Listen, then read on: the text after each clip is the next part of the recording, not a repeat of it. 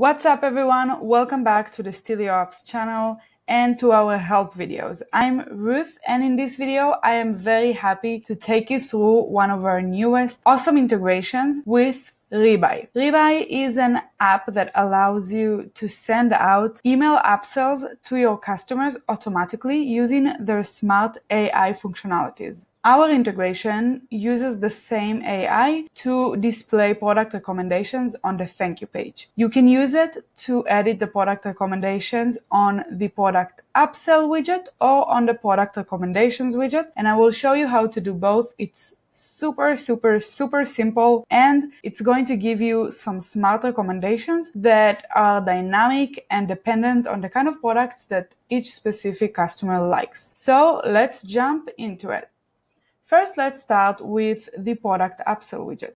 This is the product upsell. I already have it here in the thank you page. I also have a product recommendations widget here.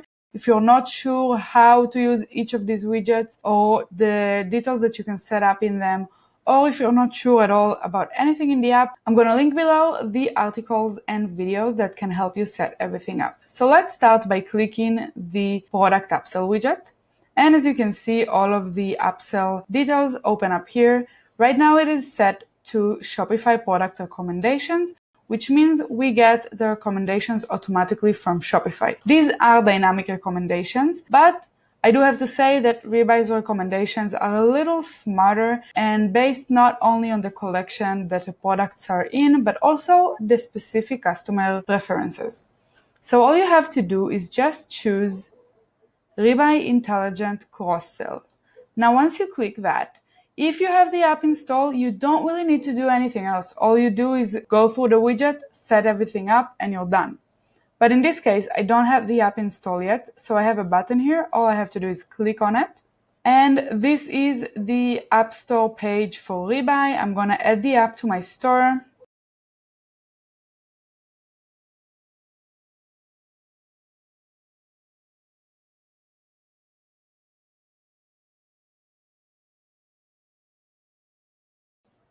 And I have the app installed. Now, if you want to go through their setup, I definitely recommend it if you're using Rebuy, but you can set up uh, with their guide. We're going to jump into Reconvert and see what it actually looks like there. So after I install the app, the button changes to check status. I'm going to click that again. And Rebuy recommendations is activated. If I still didn't have the app installed, obviously I would still see a message here that I need to install it. Now, there isn't really much I need to do. If I already have the widget set up, it will keep all of its existing settings. And when you look at the product upsell widget, you can see that not much has changed. This is just a preview of what the widget would look like. When we go to a real live thank you page, we can actually see some more about specific products and their recommendations.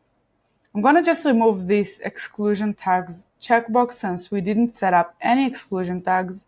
Again, let me repeat this. I'm not going to go through the widget settings since we have a separate video for this. You can check it out in the links below. Before we move on, let's also set up Rebuy in the product recommendations widget.